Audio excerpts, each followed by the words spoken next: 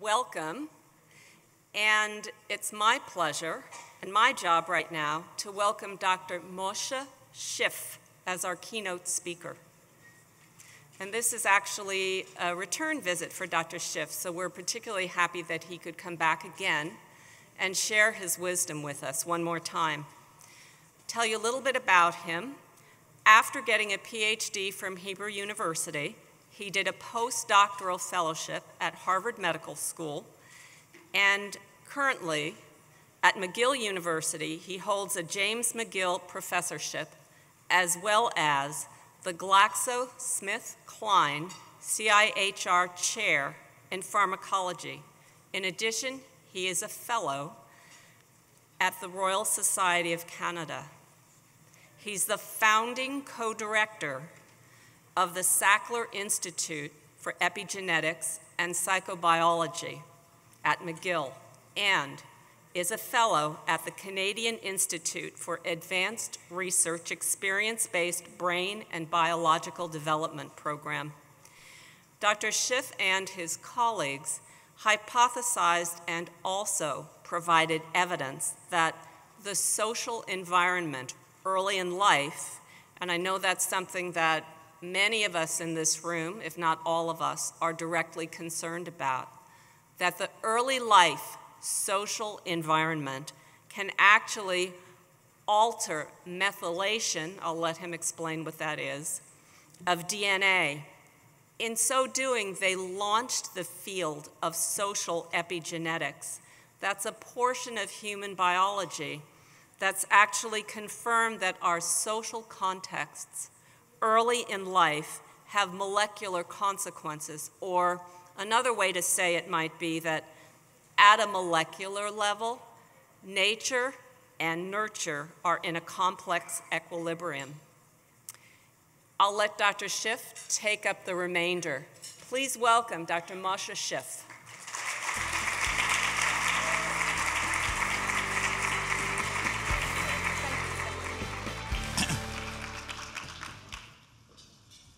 Thank you for inviting me again to share with you uh, some complex biology.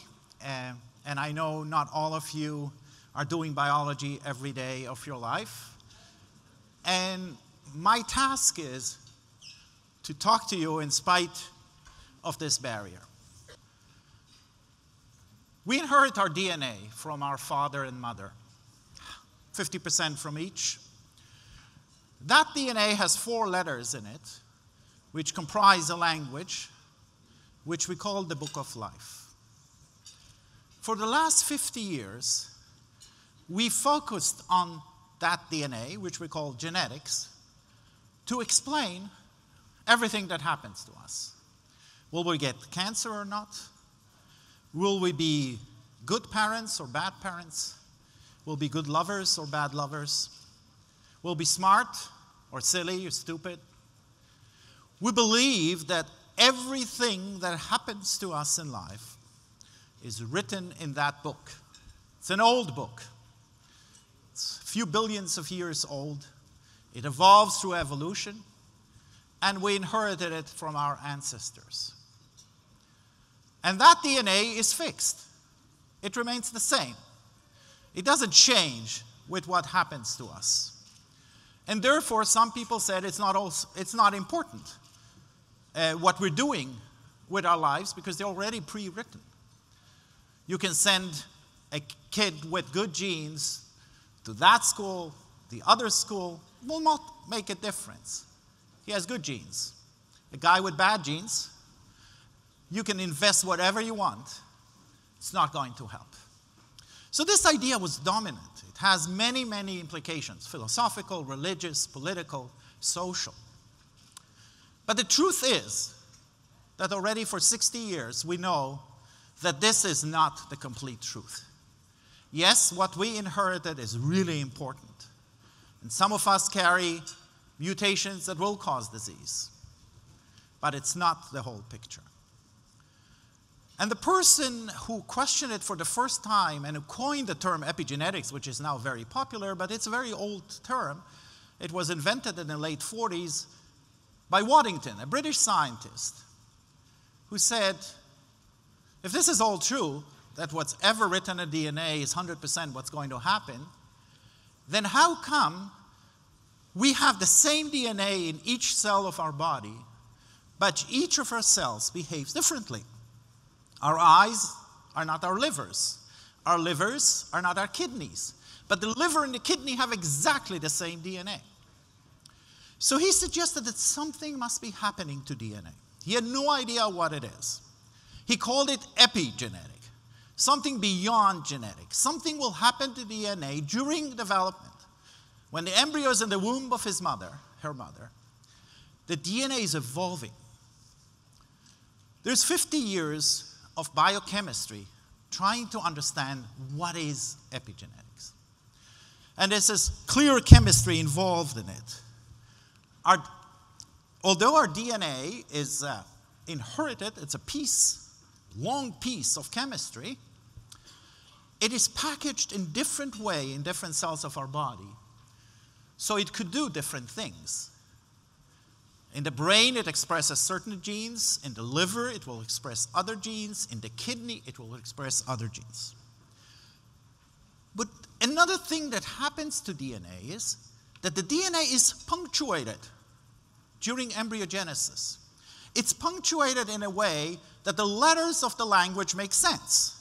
If you put letters together without commas and periods, and underwriting and overriding and question marks, you don't really have a language. So, what happens during development in the womb of our mothers, our DNA gets punctuated. It gets punctuated by a small chemical called a methyl group, which marks the DNA in special positions. So now the DNA could be read accurately in space and in time. Right? Our DNA has to function in very, very different ways, in very, very different times, and in very, very different places in our body. So all this is good. And when I started studying epigenetics, it was by total serendipity. I was ready to become a dentist and to make a lot of money. Uh, uh, and, uh, but I had to get a thesis to get my doctorate. So I encountered in a corridor the scientist who came back from Caltech, Aaron Razin, and I said, Can I do a thesis with you? And he said yes, because he was desperate. He was a young faculty member. He needed somebody. I was desperate because I needed a thesis. I couldn't care less what it was about. And, and that's how uh, I started working on DNA methylation. So, one thing he told me then is that all humans have the same DNA methylation pattern. And therefore, we are all marked in a very accurate way the same way. Right, look around. You all have eyes. Nobody has a liver here. We have an eye here. So everything is perfectly marked. And therefore, it's very interesting to study epigenetics from the point of view of development, but it's totally irrelevant to what you call development. We call development anything that happens from conception to birth. For us, development stops at birth. For you, development starts at birth. That took me a long time to understand that when a psychologist talks about development, it doesn't mean the second trimester of pregnancy, but it means what happens later in life. So now I was told that this doesn't change. So we believed it doesn't change. And uh, we scientists also have a lot of dogmas. In spite of everything you read that science is truth, science is an attempt at arriving at the truth, but it's never the truth. We always say things based on our knowledge that can change with time. And there was a dominant idea that the same way genes don't change, also the way genes are programmed doesn't change. It's highly predictable, it's all written in our DNA, and doesn't change. However, it took me a while to realize that there's something happening in life that have a huge impact on what we call the phenotype, which is how we behave and how we live and the kind of diseases we have. And one of them is the relationship between a mother and a child. It has profound impact, not only on the mental health of the child, but also on the physical health. And that relationship can happen in different environments. It could happen in this wealthy suburb of Miami or in the slums. And that has impact on the way the child develops. How is it possible? How could this work? Is it magic? So I'm a biochemist. Need to understand the molecular chains that lead from something to another thing. How is it working? And what I will tell you today is that actually the same mechanism that works during development to give our one DNA amazingly million, million different forms in our body, it's the same mechanism that registers experience in our DNA.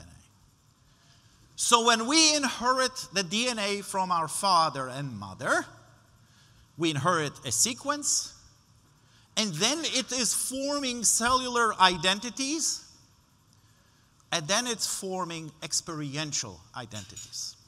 So if I take now a DNA from a mummy that died 5,000 years ago, I can sequence the genetics, and I can tell you what ethnic background it comes from, who, who are his father and mother. I can sequence the methylation pattern. We can do it to the accuracy of every methyl group on the DNA and tell you what tissue it came from. And as you will see, perhaps I can tell you even what kind of mother that person had. So, experience and cellular identity are written into our DNA. So, how does the system work? It's amazing in its simplicity. So, what you see here is this working, the pointer? No. It is working, but it doesn't reach there. So, what you see here is the cytosine. It's one of the four letters of DNA. When the cytosine looks like this in a very critical position in a gene, the gene works. When it gets methylated, it shuts it down. Now think we have 20,000 genes. We have hundreds of millions of cells. In each one of them, there could be a decision, not only what gene we have there, but is it methylated or not? So think about it. We have immense possibility of combinations of how to express that gene. So you and I can have exactly the same sequence. We inherited the same DNA. But because these marks were positioned in different ways, we will behave and live differently. So, this idea, if I can get the video, uh, that perhaps this sophisticated chemistry is not limited to, um, to development, to embryological development, that can be responsive to this kind of maternal love between a rat mother and her pups. So, what the mother rat does to take care of her pups, she licks and grooms them. She also, of course, feeds them. And she has a special posture that, that she has when she does that.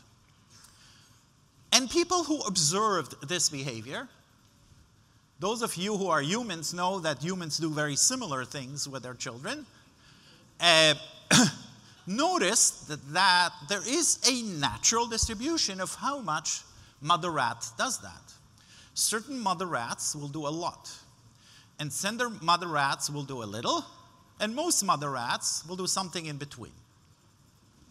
So, my colleague Michael Meaney has followed these rats and noticed that when these rats are adults and their mother is long dead, there is a phenotypic difference between the rats that received high licking and grooming and the rats that received low licking and grooming.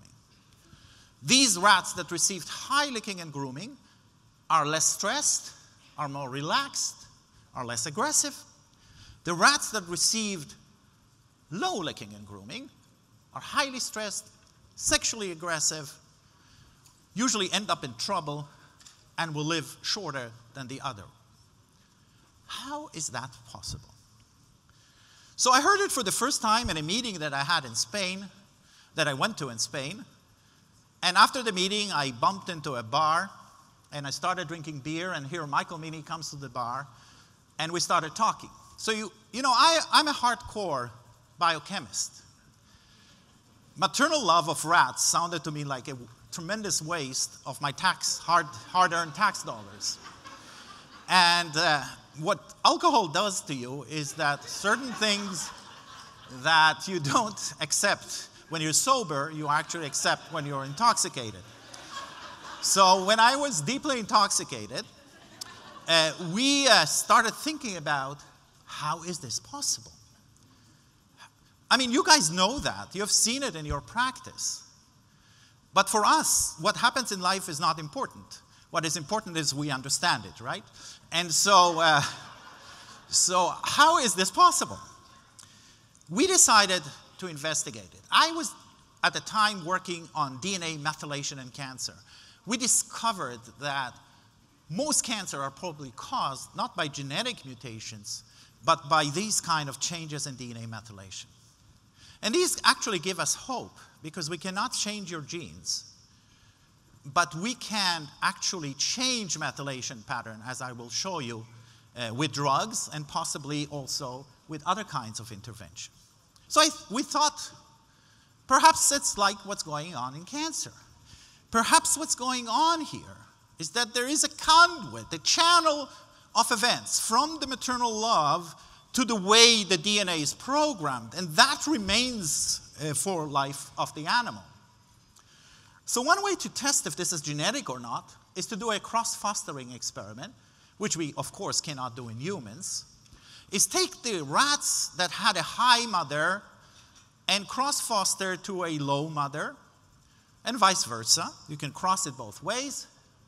And what you found out was that what is important, and these were startling news to us because we thought that it probably will be some genetics. So the low mothers probably have some gene that makes them different from the high mothers, and this is the same gene that make the animals behave differently. So that's the way geneticists will think. But what we saw was it's not the genetic mother, it's the carrying mother that made the difference. So it can't be just passing through the genes. Somebody else, something else must be happening by the maternal care. And we spent almost a decade to try to unravel the biochemistry of that process. So, what you see here is what we call a signaling pathway, a chain of molecular events by which the maternal behavior is translated to chemistry on DNA. And it is possible because when you receive maternal be- uh, love, you secrete serotonin, as you know.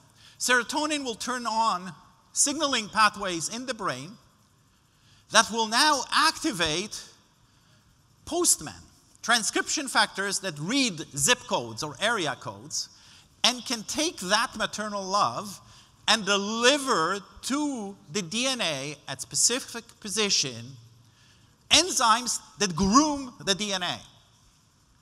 And now the DNA looks different based on how much maternal care you received. This is, of course, just ex one e example, and you can think about other cases. The interesting thing about this model is that any one of us has a gene that is in some sort of equilibrium. It's not a final state predetermined by evolution, but it is some sort of an equilibrium. And the balance of that equilibrium was defined by many things that happened to us early in life and throughout life. The other important thing about it is that it is reversible. And this is where hope is coming. It's not final, it's very strong, it stays for life, but we could do simple tricks, actually using drugs that we use in our cancer models, to reverse the animals one way and the other way. So we could take the animals that look like received high maternal care, inject them a methyl donor, and they started behaving like low animals. And we could do the opposite inject to the low animals a, a material that, remo- uh, uh, that changed DNA methylation, and they started behaving like high animals. So, on one hand, this is the strongest chemistry in nature. The chemistry between a methyl bond, methyl group, and a carbon ring is an extremely strong chemistry. On the other hand, it is reversible. It always confuses my students when I tell them, and I love contradictions because this is the, the only true thing about life is that it's contradictory.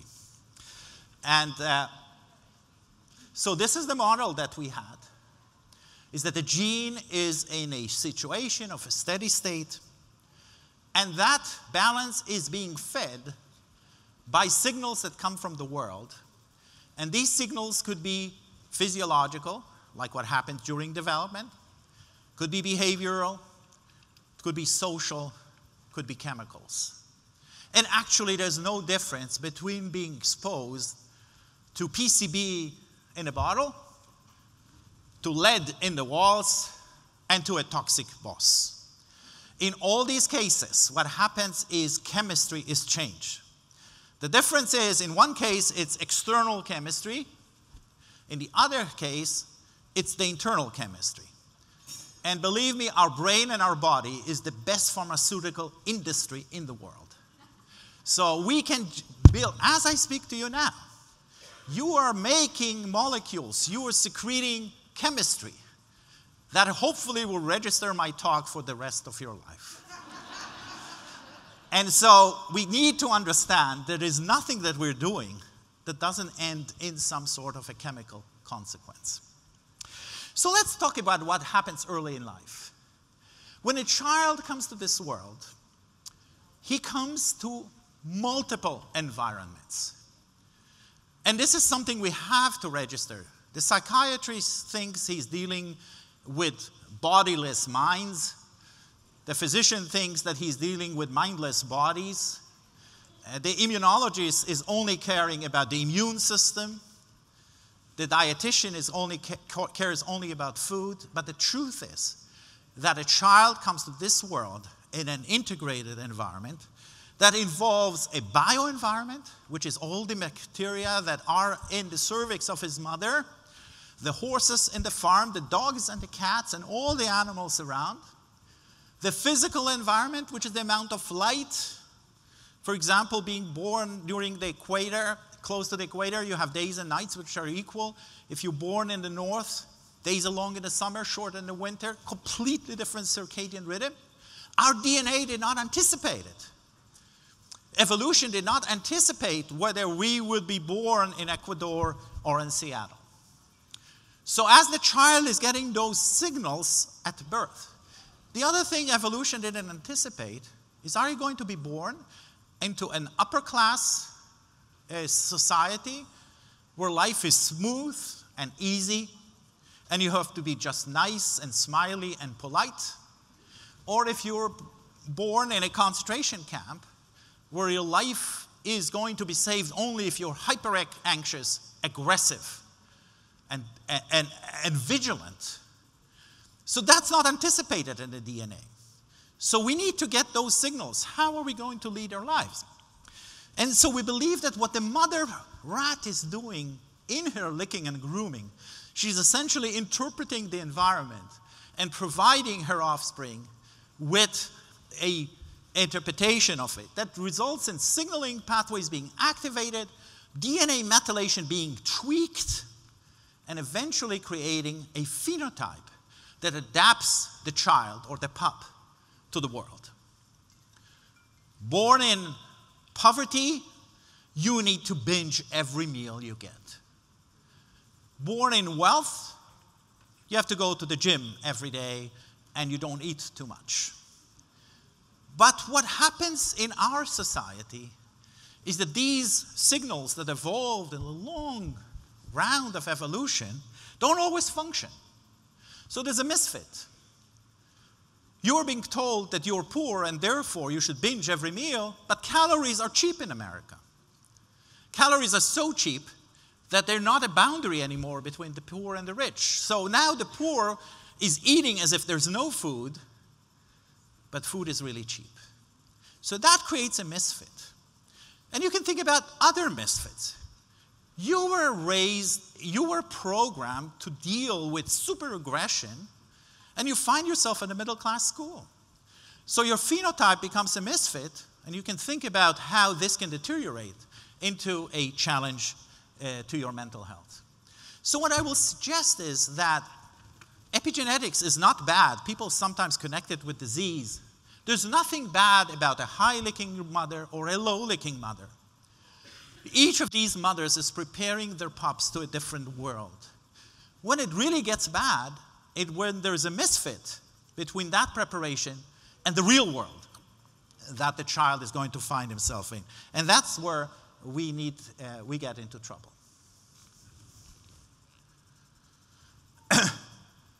so when we wanted to go higher in the evolutionary ladder to our cousins, the rhesus monkeys, and I collaborated with the great scientist at the NIH, Steve Suomi, who was investigating, many of you probably heard about him, for almost half a century, maternal attachment in monkeys.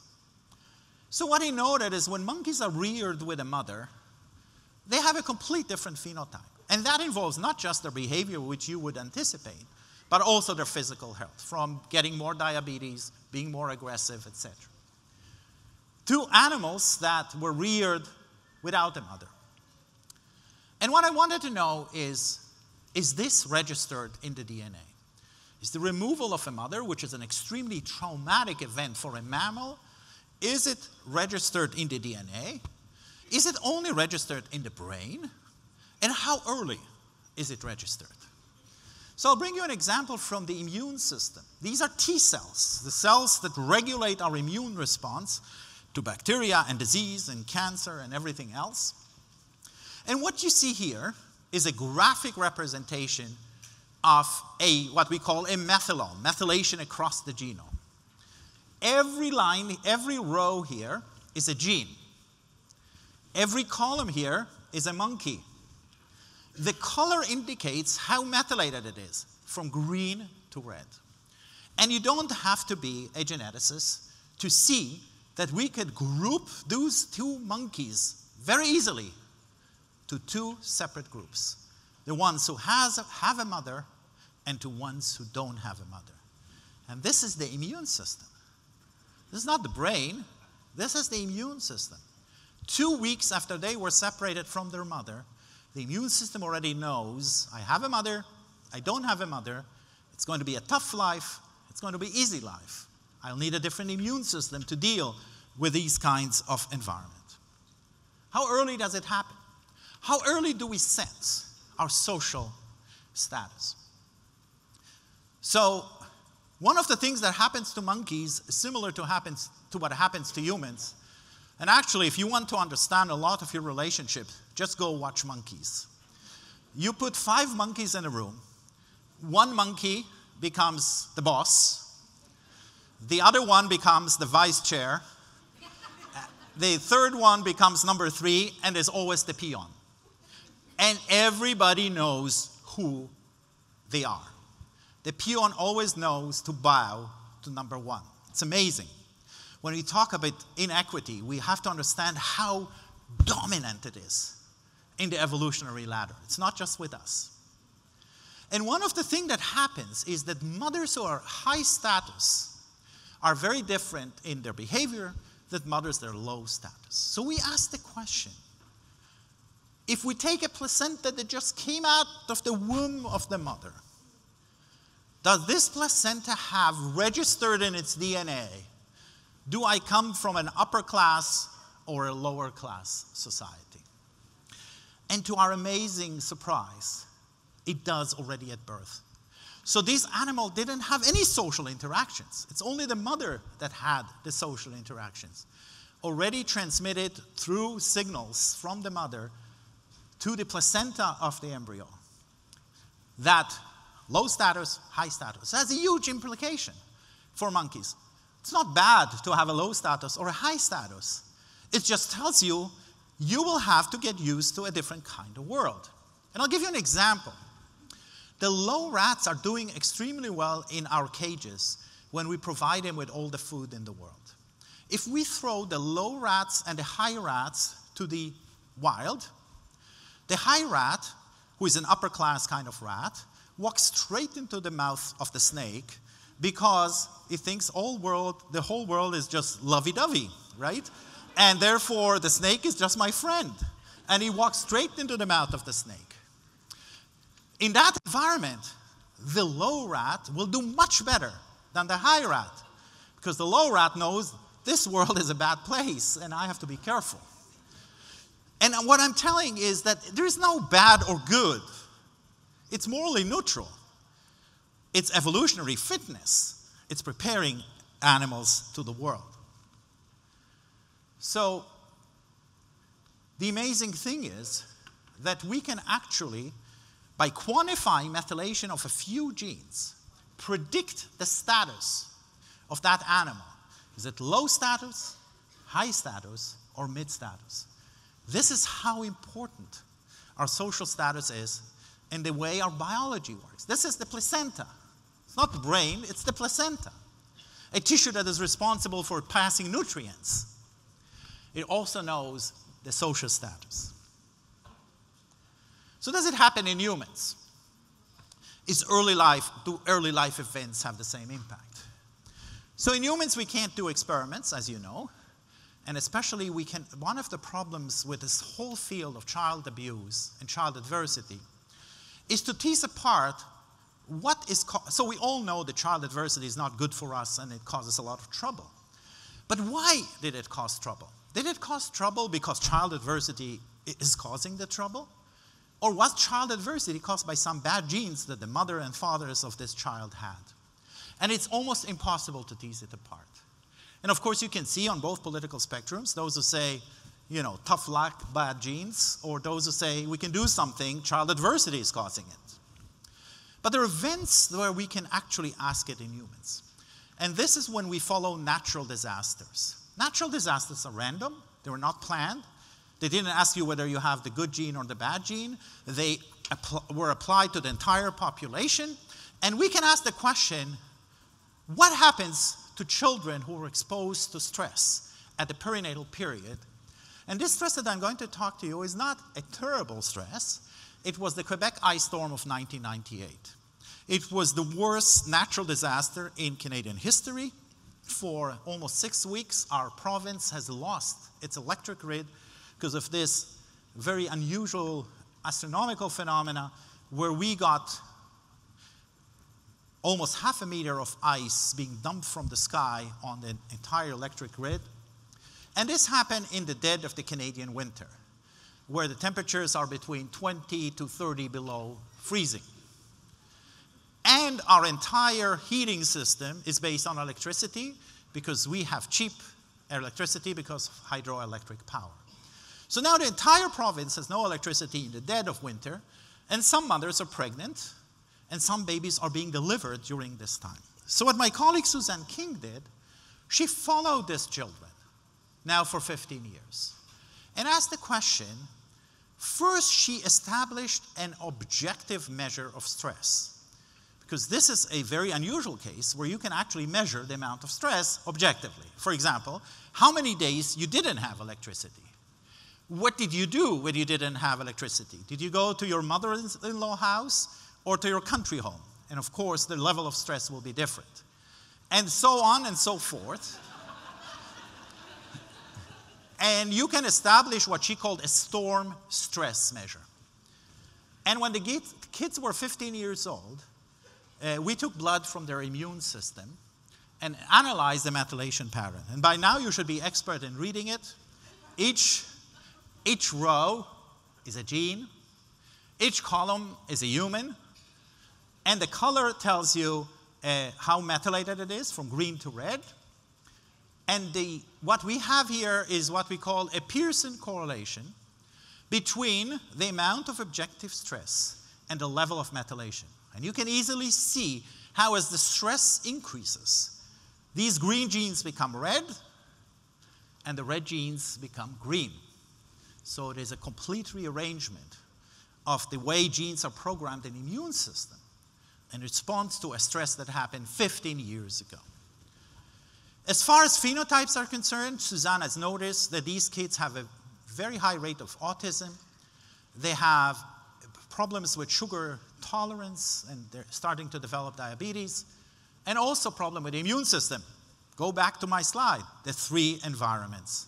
The metabolic environment, the physical environment, dealing with food, dealing with bacteria, the immune system, and dealing with the other autism. How do you deal with other people in your uh, environment? And again, here I could take a few number of genes and establish what I called a stress methylation score. Could take DNA from these kids and predict the amount of stress that their mother has suffered. I believe that one day these will be tools that provide us objective measures of adversity early in life. So we wouldn't just have to ask the people what happened to you when you were six months old. Most of us don't know that. But we will be able to establish a marker, very similar to when you go to your physician and it measures your blood pressure as a measure of uh, health. So, to summarize, what I showed you that experience triggers epigenetically propelled phenotypic changes. And this is not just tales of mothers of old villages. This is something that could be explained by real, hardcore biochemistry. Trauma early in life alters signaling pathways, which then cause different programming, which can now cause a very different phenotype. And what we also know, which I won't have time to talk to you about, is that if you had that early life adversity and now you encounter a second trauma, this will have different consequences. And we'll talk about this in the last slide. But remember that it doesn't end with early life because we have experiences throughout life. But how we are coping with those experiences to program our DNA again and again and again depends on what is on that DNA that came from early life experience. So, what are the implications? There are numerous implications. This essentially, I believe, will change completely the way we approach social sciences. We will have the same tools in social sciences that doctors who are dealing with physical health had for a long time. So, epigenetic markers could serve as early predictors of risk of who should be taken care of because of marks of early adversity without having to ask questions about what happened. And could serve also as proximal markers for follow up. Many times we do interventions, but we really don't know if they work till we see the final phenotype. Whereas the, the physical doctor has immediate proximal measures that he can see if his therapy is working or not before the final product. So these could provide proximal measures to see are we doing something? And the main impact is if indeed, when somebody suffered from trauma, the problem is that there is an underpinning, underlaying layer of epigenetic programming. We will never get rid of the effect of the trauma till we are able to deal with the underpinning epigenetic programming. And we're trying and testing in the lab different ways to do that. And also, if we understand now the relationship between adversity, between trauma, and what happens in the phenotype, we have a better chance of being able to understand what makes some people resilient and other people uh, susceptible.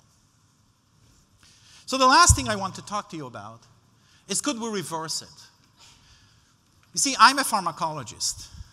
So we are pharmacologists, like you as therapists, believe that our job in life is not only to document human misery, as geneticists do, but to do something about it. And the nice thing about the epigenetic system is that it sounds like very deterministic, but at the same time, it's moldable to traditional pharmacological manipulations. So, for the first 20 years, and I founded the first pharma in the world to develop epigenetic drugs to deal with cancer. If indeed cancer is caused by epigenetic change, could we reverse it? And that's becoming a very active field in cancer today. But I will show you that perhaps there is hope also in other mental health conditions. The last thing I will like to talk to you about is cocaine addiction.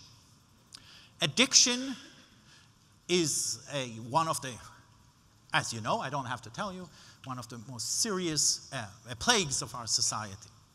And here as well, we believe that there is two elements. There's the early life element that programmed the genome in a certain way. We know that not only in humans, but even in rats, when we expose rat to cocaine. So what we do here, we teach the rats to administer cocaine. Rats love cocaine. Like humans love cocaine. And they're very happy and they all press the lever to get their cocaine. And what we do is what happens in life. A pusher gave you cocaine in a party, you take it, and then nothing happens. So we remove cocaine from the rats, and they're okay. So they don't have cocaine now for 30 days, which is a long time in a rat life. Rats live a year and a half. And then we don't give them cocaine, but we give them a movie of the party where they got the cocaine for the first time. And the way we do it in a rat is with a sound, like we do it in humans, a sound and lights. And when the rat sees the sounds and lights, it goes straight to the lever to press for cocaine. But we don't give their cocaine. But the rats will keep pressing and pressing and pressing to get that cocaine. But if you have 100 rats, only 17 will do that. The others couldn't care less. They'll press, they see there's no cocaine, they forget about it. Like what happens in humans. Not all humans who see cocaine will become addicted. So he has two questions. What happened through this time where there's no chemical exposure? The only thing the rats have is the dreams about the cocaine, but there's no cocaine, no chemicals around. So we found that the methylation pattern is dramatically changing during this month when there's no cocaine. This is, by the way, what's happening in rehabs. And that's why rehab fail a lot of the time. And actually, what happens after we put these rats in rehabs, when they come back, they become addicted at a much higher level than they were before. And we understand the molecular events that happens. So, and you can see, I cannot see it here, you can see the level of addiction before rehab in black and after rehab in gray. So, what we said is if what we see is true, that there was a complete rearrangement of DNA methylation in the nucleus accumbens, which is the part of the brain that is involved in reward processing, the only way to cure these rats is to remove that, to remove these marks. So, what we did is we treated them with drugs that came from cancer research. So, on the right, we treated them immediately after they saw the drug. Nothing happened. In the left, we treated them after rehab.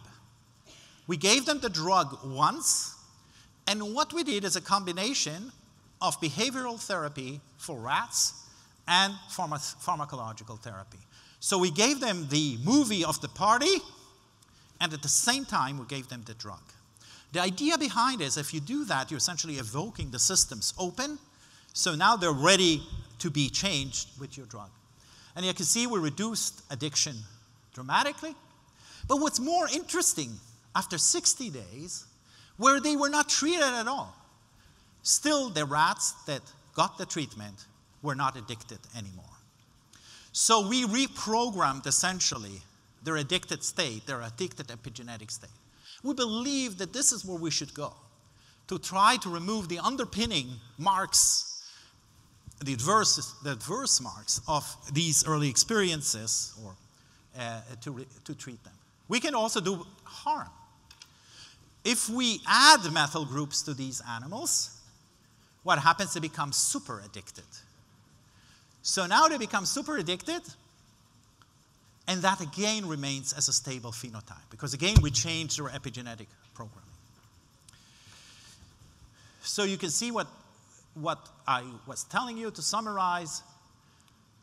Message number one is that we are born into this world with fixed DNA and a dynamic environment. And evolution had to deal with this. And the way it dealt with it by developing a sophisticated epigenetic machinery. That what it does, it takes the environmental signals that are unified environmental signals. There is no chemical without social, and there's no social without biosphere. They feed into signaling pathways. And I think it's important to understand those epigenetic changes are not just bad things happen to good people, they are programmed. They, we have the machinery to interpret the environment and translate it to changes in chemistry. And these are tweaking our DNA and are changing our phenotype to fit with the kind of world that we are being born into. But we need to understand that it doesn't end in early life. Life is a movie that goes on. It's not a fixed book, it's a dynamic movie. You know, that kind of, you get now from the cable companies where you have the remote control and you can actually rem remove an actor from the movie and see how the movie is going to develop. So, this is what we're doing in our lives. We're getting new actors, removing other actors, but every new actor that comes into the game, there's already a matrix of history behind. And if we both of us will go into the same car accident, my response of the epigenome will be different than yours because the previous script was different. And that accident will cause a, for some of us, it will be nothing and we'll come out of it totally resilient. And for other of others, it will be debil debilitating, right? And that's because this new script is on top of a previous script. And this goes on and on as the movie of our DNA is being developed and I would argue that there is enough data to suggest that this movie did not start in our birth, but actually started with our ancestors. So our ancestors are writing the movie. We keep up with this movie, we change it, and everything that we do has consequences on the way this movie is going to be unraveled. We are active participant in the movie of our lives and the movie of the lives of our future generations. So this, uh, I think, can summarize uh, what we said. And the next important thing is that we live in integrated environments. That movie is not just written by maternal care, it's not just written by food, it's not just written by bacteria. They all work together to send coordinated and integrated signals uh, to our DNA. And I'll just finish with all the people that I collaborated with. I don't have time to mention all of them. I'll just let you know that they didn't contribute anything to my work. It's all my work, of course not. but uh, the greatest thanks I have is to the methyl group.